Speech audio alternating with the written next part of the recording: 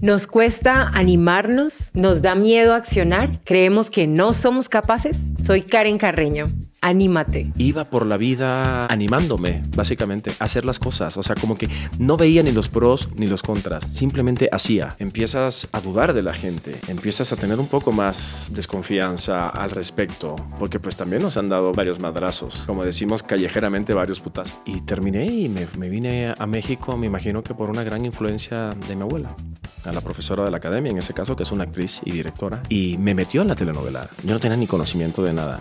Estudiábamos en un colegio bastante caro, pero yo vengo de un lugar este, donde hay muchas carencias, entonces era una contradicción. Y como fui deportista, pues constantemente te enfrentas al, fracaso.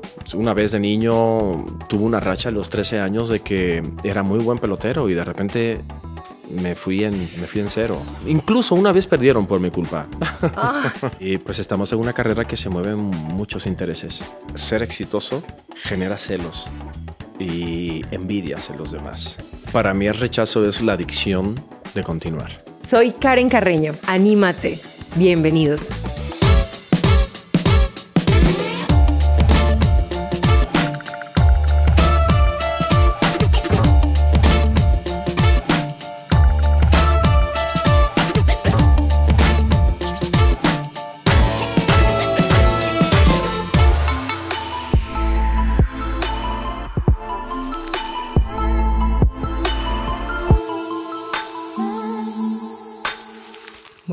Que empezar este momento por decirte que muchísimas gracias. No sabes lo emocionada, emocionada que te tengo de, que estés aquí enfrente ah, mío. O sea. Al contrario, el placer es mío, el gusto es mío. Nos conocemos de hace un rato, ¿no? Sí. Y siempre ha habido un gran rollo entre nosotros, así que cuando me dijeron, definitivamente, pues tenía que estar aquí contigo en esta etapa. Muchas gracias. Yo, bueno, soy una fan tuya desde hace mucho, tú lo sabes. en el momento en que te conocí te lo dije desde siempre he seguido tu carrera, eh, excelente actor, aparte de una persona maravillosa, maravillosa. Eh, y bueno, de verdad que te agradezco eh, por este apoyo, por tu presencia, por tu tiempo, por estar aquí. ser parte de Anímate. Anímate se llama el podcast. Ah, qué bonito. Sí, y bueno, es más que todo lo agarré, tomamos ese nombre y lo tomé por, por porque siento que a veces la gente necesita un impulso a animarse a hacer cosas. Y te cuento esto es porque quiero que de esto sea nuestro podcast. Quiero preguntarte eh, en tu vida, ¿sabes? Como que a qué te has animado, qué te falta animarte. Este, ¿Recuerdas cuál fue una experiencia a la cual te animaste que te hizo salir de tu zona de confort? Sí. Pues emigrar. Emigrar de muy joven, a los 27 años cuando terminé la universidad en Puerto Rico, emigrar a, México sin tener ningún tipo de, de, apoyo en este lugar, en este territorio, eh, sin, sin, conocer a nadie, eh, simplemente animándome a empezar a darme la oportunidad de, de crecer profesionalmente, de, de mejorar como profesional, entonces, pues creo que ha sido como, pues ese momento. ¿Y ahí ya tenías claro que querías ser actor o después te animaste a la actuación? No, yo, yo estudié en la Universidad Pedagogía Teatral. teatral. Soy oh. maestro de teatro. En la Universidad de Puerto Rico, recinto de Río Piedras. Entonces yo terminé la carrera, ya trabajaba como actor en Puerto Rico. Eh, una carrera que pues realmente tendrían que ser pues el, bachillerato universitario, tendría que ser como cuatro años, yo la hice en seis, porque pues trabajaba como actor, hacía teatro infantil, teatro comercial, teatro callejero, eh, también teatro social. Cuando llegaban los huracanes íbamos y presentábamos teatro a los damnificados oh, y a los refugiados en en ciertos refugios, básicamente, pues, eh, puestos por el gobierno. Entonces, por eso creo que me tardé dos años más, pues, pues estaba ya combinando trabajo y, la carrera. Y cuando terminé, eh, pues decidí venir a México. ¿Y tenías un plan o fue así? ¿Quién te animó a tomar esa decisión? O sea, ¿por qué México? Fíjate que yo me crié con una abuela muy fanática de México, la, por parte de padre. Yo perdí a mi padre cuando tenía 10 años. Entonces con, con, con, abuela Isabel teníamos muchísima comunicación. Supe que fue fuerte lo de tu padre, ¿no? Bastante. eh, y pues con la abuela, me acuerdo que siempre en la sala tenía un sombrero de mariachi. Y eran muy fanáticos de todo lo que sucedía y todo lo que México exportaba. Y me parece que pues nací con esa, crecí con esa imagen, crecí con esa música, desde su trinchera, desde su lugar, desde su casa, ¿no? Y, y al final de cuentas, este, me pude haber ido a Estados Unidos, pero yo creo que la latinidad me, me ganó. Y, y terminé y me, me, vine a México, me imagino que por una gran influencia de mi abuela. ¿Y cuáles eran tus miedos en ese momento? ¿Sabes qué? Ni, creo que soy más miedoso ahora.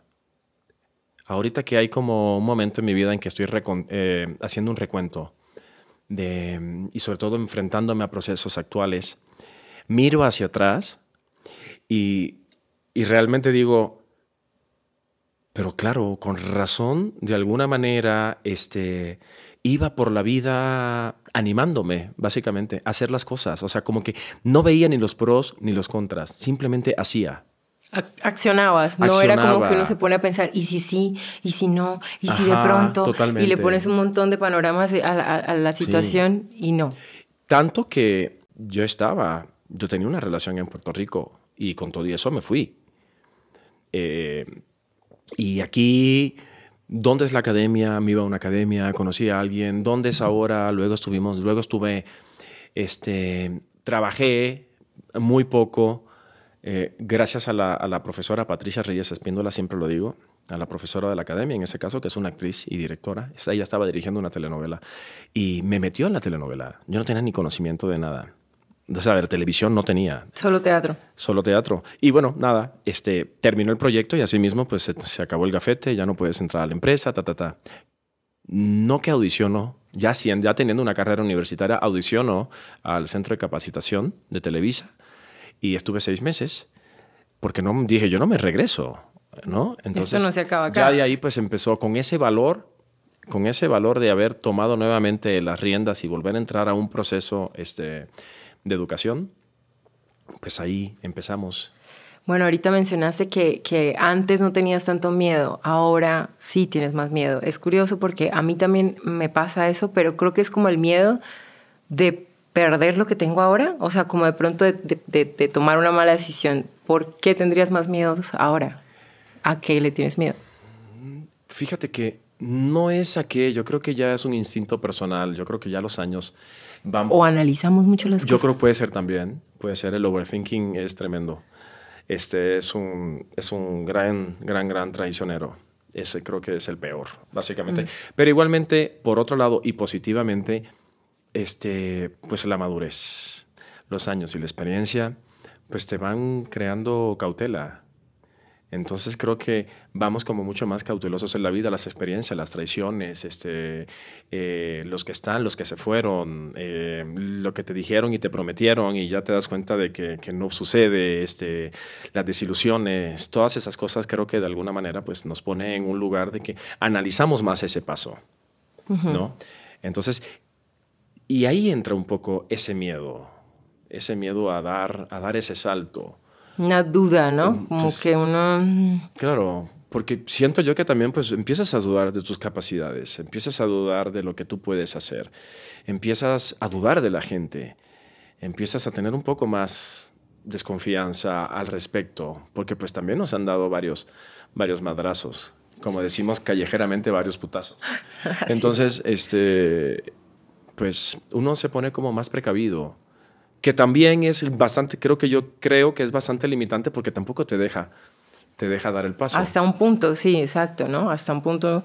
A ver, la precaución es buena también, claro. pues porque no estás saltando de una vez, ¿no? A, a, a, la borda así, ¿no? Pero también te, te frisa. Totalmente. O sea, y no te permite. Frío olímpico. Ajá. Ah, ¿Qué voy a hacer?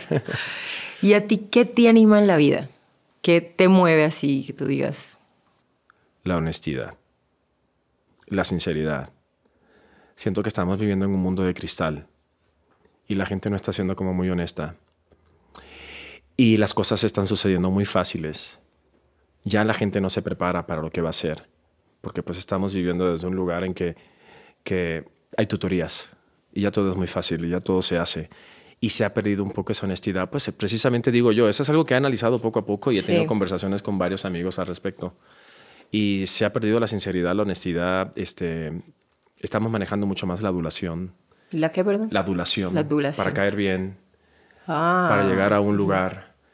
Porque al final de cuentas, pues la propia inseguridad de no sentirte preparado, que eso sale, eso es parte esencial, porque no lo tienes. Simplemente como este, este terreno o este nuevo mundo que estamos viviendo, pues este, ya las carreras no se dan, ya son pequeñas especializaciones o tutoriales o pequeños certificados y de ahí pues el ser humano va hacia él mismo y entonces creo que entra un poco más el egoísmo, porque pues tienes una sobrevivencia y se ha perdido la, siento yo que se ha perdido un poco eso, eh, pues sí, la, la honestidad. Ya me encuentro yo de repente, sinceramente, como no tratando de decir nada, los criterios no los puedo compartir porque pues no sé cómo lo toma la otra persona. ¿Crees que la gente se puede...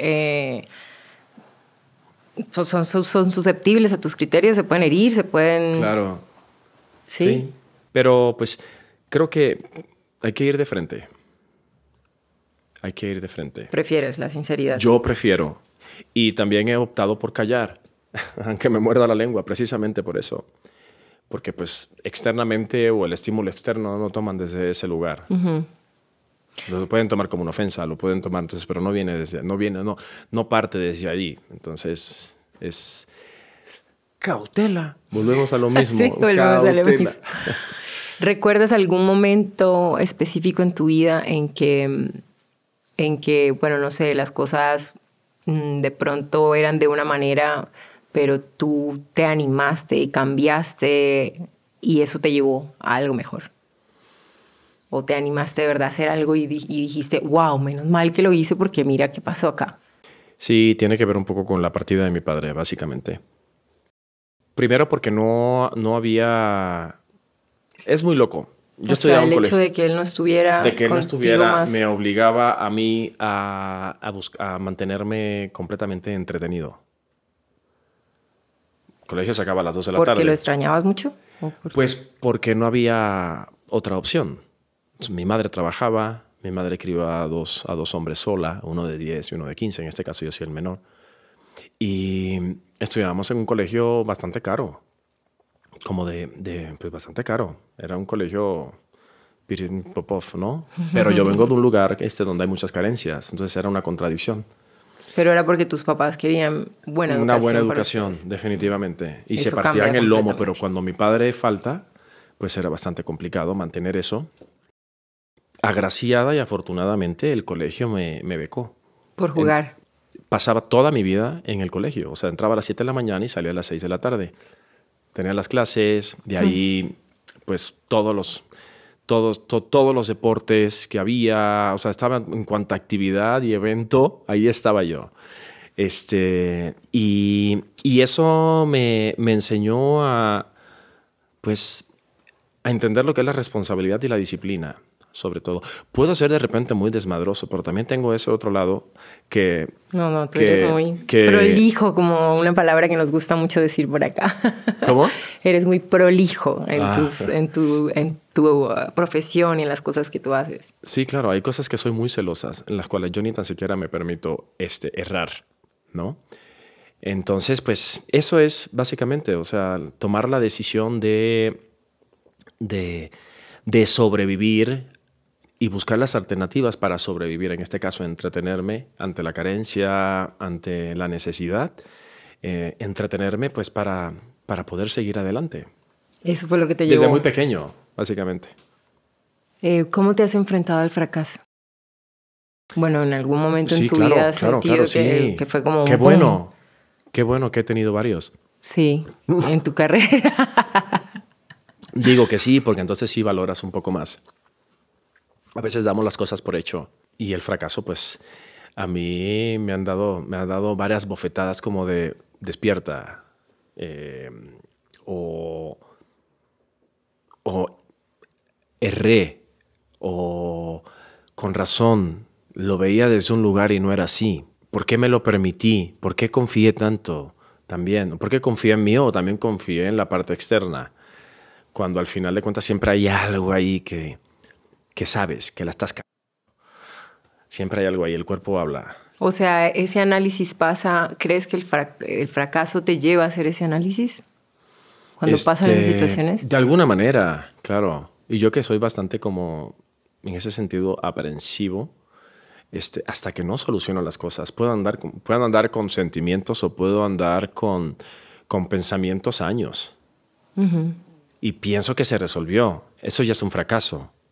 ¿No entiendes? O sea, algo que uno piensa que está resuelto y cuando vuelve a salir es como que no, es un fracaso. Primero es un fracaso personal. Entonces, quiere decir que, pues nada, ahí lo resané, pensé que estaba, que se había terminado y no, ahí estaba oculto, debajo de la alfombra le escondí. No, básicamente. Claro. Entonces, este, cuando sale, pues te enfrentas que nuevamente eso continúa, o sea, que no está resuelto. Eso es un tipo de fracaso para mí también. Y en ese momento te has, reanimado, te has animado a recalcular esas cosas y verlas diferente. Claro, sí, no es que no puedo. Entonces te das cuenta de que te estás cargando con algo que llevas muchísimos años y que pues que pensabas que ya no existía y ahí está. Igualmente, proyectos. Y como fui deportista, pues constantemente te enfrentas al, fracaso.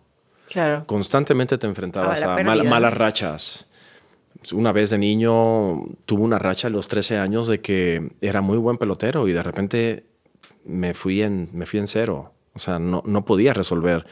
No era un problema de visión, porque yo soy ciego, no era un problema de visión. Este, estaba pasando algo a mí en ese momento de mi vida que a lo mejor estaba entrando en la adolescencia, que vienen unos cambios y de cuenta como si me hubiese, como si estuviera empezando nuevamente este, volver a jugar béisbol. Entonces este, me enfrenté a un fracaso horrible. ¿Y, tú, y tuviste que eh, pues, enfrentar el béisbol de otra manera? O sea, agarrar otra posición o entrenar de otra manera? seguir solo. Incluso una vez perdieron por mi culpa. Ah.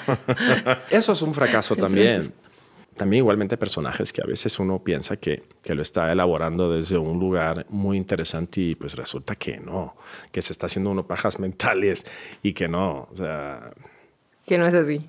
Y el orgullo también de alguna manera, este, pues no te permite ver las cosas. Entonces el fracaso por ende va a llegar por añadidura. ¿Te animarías a hacer cosas diferentes como, como algo diferente para ti? ¿Qué sería? Sí. De hecho lo tengo ahí en pensamiento. Pues estoy pensando en hacer una maestría. Oh, wow. Es una maestría en, en psicología del deporte y alto rendimiento. Psicología del deporte y, alto, rendimiento. Más disciplina todavía. Pues sí, más o menos. Lo que pasa es que pues se me antoja, pues, pues yo soy un atleta de las emociones, ¿no? Y toda la vida este, pues crecí bajo un régimen deportivo, una conciencia. Y siempre el estudio se me ha dado. Siempre como que he tratado de mantenerme en constante, aunque pasen los años, siempre una necesidad de regresar a un salón de clase, de regresar a un taller o algo. Eh, es algo que está ahí, que está ahí. Y ahora pues está existiendo esa necesidad de, también ver la vida desde otro lugar, no ver la vida desde el actor, no ver la vida desde estos momentos que pueden surgir de frustración, de, porque esta carrera hay, hay, subidas y hay bajadas. Y yo la verdad no soy del tipo de persona que quiere estar ahí constantemente. Yo necesito eso, no quiero, no puedo. Eh, me gusta hacerlo, soltar y darme el tiempo para poder este, alimentarme a mí personalmente. Y entonces estoy como calculando, viendo a ver para hacer esta, esa maestría y ver la, ver la vida también desde, desde otro, otra dimensión. ¿Y tú crees que toda esta parte de disciplina que siempre has tenido en tu vida es la que con la que abordas la creación de los personajes? Sí, y lo debo todo a mi colegio. Fíjate que casualmente ayer me escribió una profesora mía de tercer grado, Ajá. Miss Pesquera. Miss Misis, Pesquera. Ajá. Y de repente veo el mensaje. de las personas sí, me acuerdo. Y veo el mensaje que me escribió. ¿Te acuerdas de mí? Y yo, ¿cómo no me voy a acordar de ti? ¿Cómo no voy a acordar? Aparte de usted, ¿no? Porque pues uno ve a los maestros y les trata de, yo les trato de usted. Claro. Le dije, ¿cómo no me voy a acordar de usted? Si agradezco enormemente la disciplina, la educación ética, académica que nos dio nuestro colegio. De esa manera igualmente también abordo cuando ¿Y trabajo. Fue un método que ella te entregó? El no, pues lo que pasa es que no, pues es que creces con una educación muy muy... Es que no ni tan siquiera como si fuera estricta. Es una... Es una como... Pues una educación formal, académica, este, no permisible, que también tiene que ver con la época. Estamos hablando, pues no sé, del, del 80 al 91 más o menos, del 79 al 91. Entonces, este, siento que eso Eran diferentes esos, sí, tiempos. sí, se ve, sí, se nota. Sí se ve, es palpable eso. Y, y crecí con, básicamente con disciplina en ese aspecto. Y sabiendo que, que a veces hay una gran dificultad en el acercamiento de las cosas, ya sea de la vida o ya sea del trabajo o algo que digo no puedo, sigo y sigo y sigo y sigo y sigo hasta que sucede algo. No sé si bien o mal, pero por lo menos sucede. ¿En qué momento fue eh, el momento preciso en que decidiste voy a ser actor? Ay, Dios, yo me acuerdo una vez que mi madre estaba viendo una novela, una telenovela en Puerto Rico. Y yo vi a un actor que se llama Braulio Castillo. Braulio Castillo, hijo. Nada, pues él el protagonista era como el galán joven en, las telenovelas en Puerto Rico y estaba besando a, pues a la protagonista. Yo era muy niño, tendría seis años, tenía siete años. Y yo le dije, yo quiero hacer eso, mamá. o sea, todo entró por el beso, ¿no? Ahí fue la reacción. Ahí fue que dije, yo quiero estar besando a todo el mundo. ¿Y tu mamá qué dijo? este, no dijo nada. Mi madre no estaba como muy contenta que yo estudiara la carrera. Claro, porque aparte yo creo que los papás también, eh, bueno, y en esa época tienen como una idea errónea de la actuación y dijo, y yo creo que dijo, tanto tiempo que lo quise llevar a educarlo a otro lugar para que hiciera otra cosa, pues, para que fuera un profesional. Después de todas las necesidades, lo mejor que quisiera es de que no, que mi hijo fuera doctor, fuera abogado, fuera médico, algo, lo que sea, no sé, algo así que, que dices, bueno, pero pues, este no, no, no, no. Yo, yo entré a la universidad por, por, administración de empresas y luego me cambié de facultad. Por administración de empresas. Sí. Y luego me, me, Pero eso fue después de teatro. No. Antes. No, yo, mira, es muy loco porque o Cuando sea, yo eres profesor, eres administrador. No, no, no, no, no. Administración no. Yo entré. Entraste. Entré. Mi primer año, pues es general en la universidad y el segundo año te vas directo a la facultad. Y yo entré eh, en la universidad eh, para, para estudiar este mercadeo y finanzas. En el momento en que entro a la facultad, que es mi primer año, por otro lado, yo, estaba, yo fui becado por la universidad este, por la jabalina, el lanzamiento de jabalina yo tiré, yo lanzaba jabalina. Como era pelotero, tiene que ver, era pelotero, ta, ta, ta, ta, ¿no? Para, pues, para estar en el equipo universitario.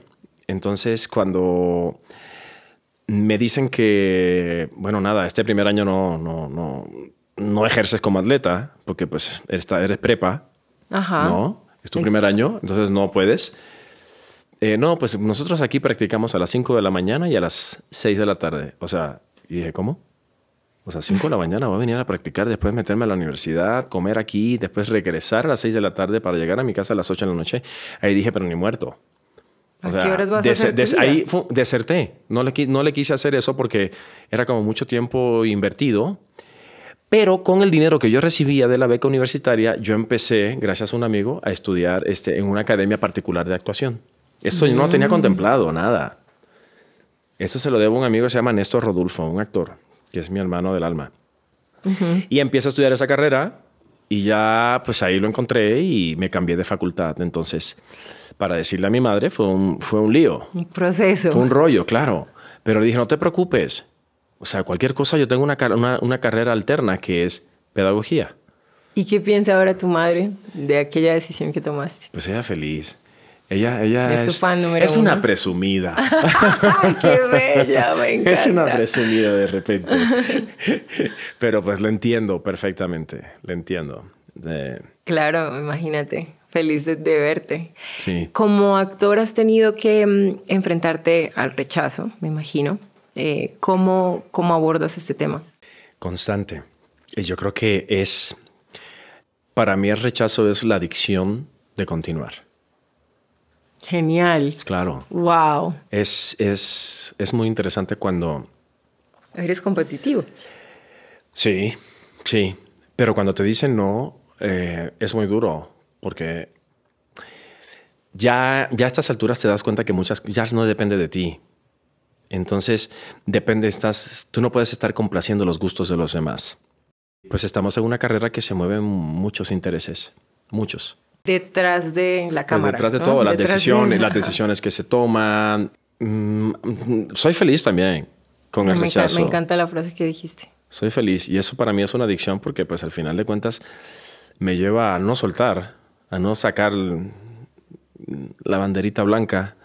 Este, y sobre todo cuando ya, es, es, es interesante porque sobre todo cuando ya uno está mucho más consciente y más establecido en la carrera y, y- y entiendes tu oficio, eh, es cuando más viene, Cuando más te llegan cuando más cosas. rechazo hay, Ah, cuando más o rechazo. cuando hay. más nos este, suceden. Qué loco, ¿no? Porque Es muy loco. parecería que no, que fuese al revés.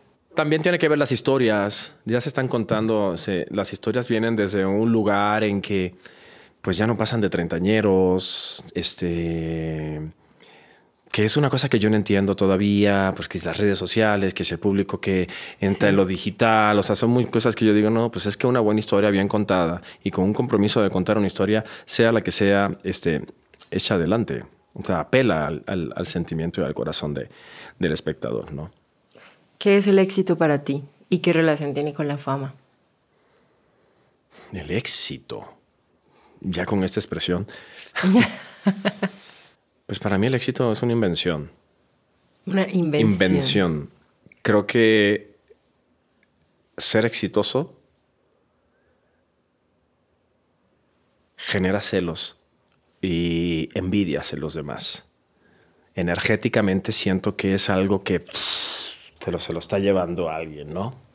Alguien, el que, lo, el que, el que, al que le va bien. Yo prefiero decir, oye, me está yendo a tu madre, me está yendo bien, que no, pues estoy, mm, soy mm, un súper éxito. No, no, no, no, siento, siento Estoy que en es la una, cima. siento, es una palabra que me hace ruido. es una palabra que a mí me, no me, no me gusta, no me gusta. Y pues la fama mucho menos. ¿Qué diferencia hay de una persona que sea pública o la gente te siga eh, a una persona que se está partiendo, eh, Trabajando este, trabajando y que también de alguna manera estás echando adelante? Entonces no hay ninguna diferencia. Entonces es como que está poniendo una separación entre nosotros los seres humanos. Entonces eso no, no, me, no me cuadra. No me cuadra. ¿Y cómo, cómo lo manejas en tu, en tu trabajo? Porque va muy de la mano. Eres más bien privado, ¿no? No, pues es que la verdad no sé, yo debería sacarle provecho a eso. Ah, Pero no, o sea, es algo como que es normal en mi vida. O sea, no, no lo tengo ahí, no lo pienso, no... No sé si viene desde el lugar desde el cual yo abordé lo que estoy haciendo, desde el lugar en que, este, desde mi educación o de algo. Eh, no, nunca quise ser un actor por, o sea, esos conceptos de quiero ser actor porque quiero ser famoso. Yo nunca quise O eso. reconocido, O o- reconocido, o que la gente me conozca, me premios vea, los te- premios. Todas esas cosas, este, pues nunca, nunca tuve esa, esa expectativa, esa visión. O sea, yo soy de encerrarme en un salón de clases descalzo y trabajar. Trabajar desde ese lugar en el taller y explorar la emoción y entender que, entender que el ser humano es importante y que pues, hay muchas cosas que tenemos que trabajar como seres humanos para, para poder ejecutar Y, tener esa- un alto rendimiento. Sí, precisamente a lo que estábamos hablando de la carrera esa. Y desde ese día, desde esa idea, ¿tú crees que un actor eh, nace o se hace? Yo creo que es una combinación de las dos. Porque puedes nacer con el talento, pero el talento hay que alimentarlo. Y el talento también puede llevar a ser huevones, nos puede llevar a ser huevones y a confiar demasiado en nosotros. Entonces, este, yo creo que ¿A qué te refieres cuando confiar demasiado? Cuando ya crees que tienes mucho talento. que te la y no- sabes, que crees que te la sabes, Ok. que crees que, que te la sabes, que, que lo resuelves. Precisamente la palabra resolver. Y a mí no me gusta como profesional, profesional resolver, ¿no? Tú le trabajas fuerte. Trabajar. O sea, hay una cosa que es resolver, agarras un personaje, lo haces bien, lo ganas, quedó bien, lo salió, ¿no? Pero a mí no, yo no puedo. O sea, yo no puedo así, no, no puedo desde, desde Tú ese... lo escarbas y lo Sí, hay muchas capas, hay muchos lugares que hay que enfrentarse. Bueno, quería eh, aprovechar la oportunidad para pedirte em, que le des un consejo a todos mis seguidores a qué deberían animarse en la vida. Ok. Eh, bueno, lo único que creo que puedo decir es que, número uno, encuentren ser ustedes. Eh, no, no busquen no busquen su lugar siempre pensando afuera, siempre pensando en un ejemplo, porque eso es ficticio. Eh, hay que pensar realmente en que ese ejemplo lo tienes tú y tienes que buscarlo desde, desde tu propio lugar. Que se sientan orgullosos y orgullosas y orgulloses con lo que son, que amen su cuerpo, que amen lo que tengan, que, que, que respeten primero el respeto que venga desde su propio lugar y también desde que a, ese respeto, si no te respetas tú, no vas a respetar a los demás. Entonces, que se respeten eh, ustedes mismos y que siempre, siempre, siempre se pongan en los zapatos de la otra persona. Empatía. Divina. Eso. Quiero darte un regalito. Anda. ¿Lo tengo que abrir aquí? Sí, por favor. Que lo abra. ¡Ay, wow! Es una mm.